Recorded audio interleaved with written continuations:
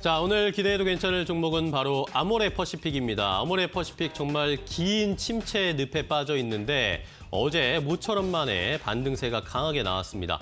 자, 두 분의 전문가 모두 상승할 수 있을 거다라고 의견 주셨는데 리오프닝 수혜주 찾기 중에 역시 아모레 퍼시픽이 가장 또 눈에 띌 수 있는 종목이다라는 의견 한 분 주셨고요.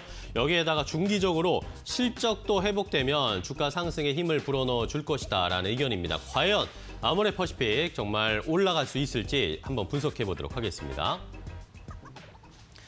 자, 오늘 기대해도 괜찮아하는 두 분과 함께하겠습니다. 레몬리서치의 김민수 대표 그리고 한국투자증권 서초중앙 PB센터의 길건우 연구원 나오셨습니다. 두 분 안녕하세요. 반갑습니다.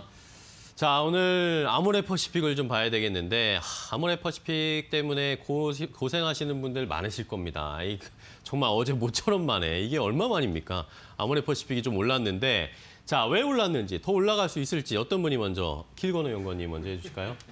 그 아모레 퍼시픽이 컨센 자체가 조금 많이 떨어져 있기는 했어요. 네. 네, 뭐 이제 기대감 자체가 별로 없긴 했는데 뭐 4분기 실적 발표한 거를 보니까 드디어 이제 영업이익이 흑자 전환을 했다라는 거. 네. 4분기 아유. 매출도 보니까 뭐 한 1조 3천억 정도 했고요. 근데 뭐 전년 동기 대비하면 한 15% 정도 증가한 수치라고 보시면 될 네. 것 같고 영업이익은 256억으로 흑자 전환을 했습니다. 뭐 근데 대부분 이제 우리나라 같은 경우는 4분기 때 일회성 비용 대부분 적용을 시키잖아요. 그렇죠. 그 제외하면 컨센서스를 거의 46% 정도 오. 네, 상회하는 수치가 나왔다 보니까 조금 주가가 이제 움직 이기 시작한다라는 거.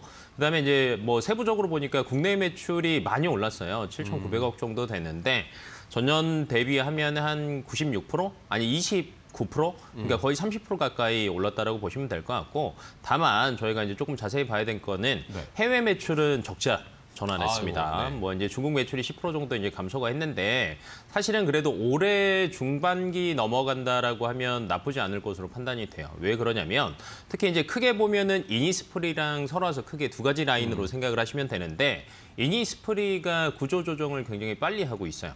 왜냐하면 이제 20년, 2002년 전에는 오프라인 매장이 거의 한 470개 정도 됐거든요. 네. 근데 작년에 말 기준으로 했을 때 300개.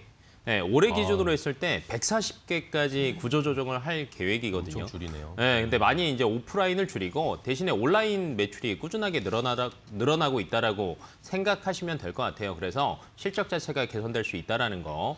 그 다음에 뭐 최근 들어서 코로나 19 확진자들이 뭐 거의 정점으로 20만 명 찍고 3월 총 3월 정도 되면 은 찍고 아마 내려가지 않을까라는 것들 때문에 네. reopening 기대감이 조금 많이 반영이 되는 것 같아요. 음. 네, 그런데 이제 사실은 reopening 기대감으로 오를 수도 있지만 근데 이제 단기적인 접근보다는 저는 이제 중기적으로 실적 회복이 될 거라는 거. 왜냐면 일 1분기 실적이 그렇게 크게 나오지는 않을 거거든요. 네. 현재 구조 조정 중이다 보니까 그리고 이제 최근 들어서 이제 설화서 등 이제 고가 라인 자체가 조금 사실은 많이 잘 팔 려야 되는데 어, 당장 해외 실적이 바로 회복하기는 쉽지는 않거든요. 그래서 저는 조금 중기적인 접근으로 하셨으면 좋을 것 같습니다. 알겠습니다.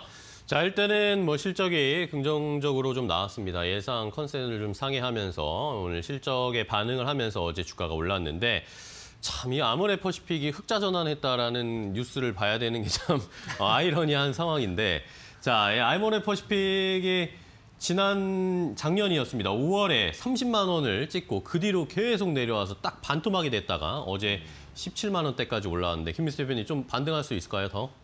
네, 단기적으로는 반등을 해도 중기적으로는 확인해야 될 게 더 많을 것 같습니다. 아, 그래요? 약간 네.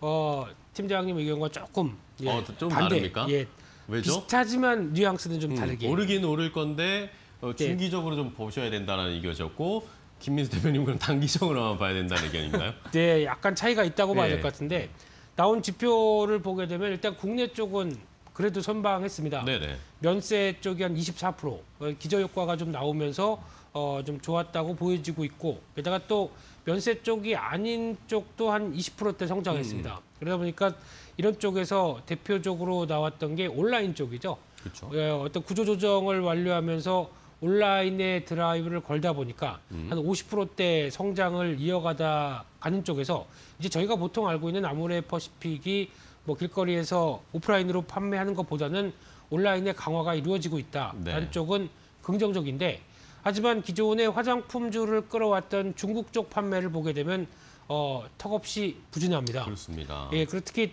어, 설화수 같은 경우 한 10%대로 줄어들고 있고요. 하락하고 있고 음. 어, 거기다가 이니스프리 같은 경우도 한 80%대가 감소하게 되면은 중저가 쪽은 거의 침몰했다라는 쪽으로 어. 바라볼 수밖에 없고요.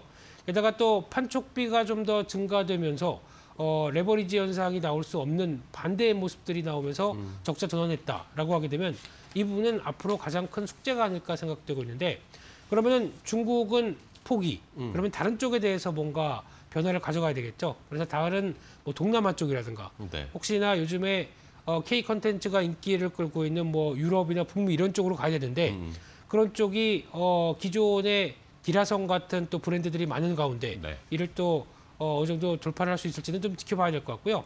게다가 어, 중장기 쪽으로 바라봤던 이 중국과의 경쟁에 심화되는 부분들을 어느 정도 확인하기 위해서는 아무래도 수출 중심의 성과는 더 확인이 필요하다라는 관점으로 바라보는데 어, 자- 지난번에 그러니까 어제 나왔던 실적은 어, 영업이익 한 4,500억으로 작년에 한 30% 이상 증가하는 아 올해 올해 실적이죠. 올해 실적이 30% 이상 증가할 걸로 보이면서 작년보다 올해도 좋다라는 생각은 들고 있는데 하지만 이제 절대적인 수치를 보게 되면 2015년도, 2016년도에는 아모레퍼시픽이 영업이익 뭐 최소 5천억 대, 8천억 대 하는 그렇죠. 회사입니다.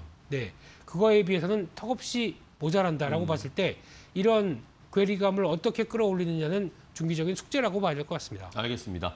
자, 두 분이 뭐 같이 함께 상승할 수 있을 것이다라는 의견은 주셨지만 그 안에 내면의 뉘앙스는 약간 좀 다르긴 합니다. 어떤 것에 시청자분들은 조금 더 어, 신뢰를 하실지 아니면 어떤 게 더 합리적이라고 생각하실지는 한번 좀 판단을 해주셨으면 좋겠습니다. 아모레퍼시픽 오늘도 좀 반등하기를 기대를 해보고요. 워낙 많이 떨어져 있었으니까 앞으로 좀 개선되는 모습을 기대해 보겠습니다.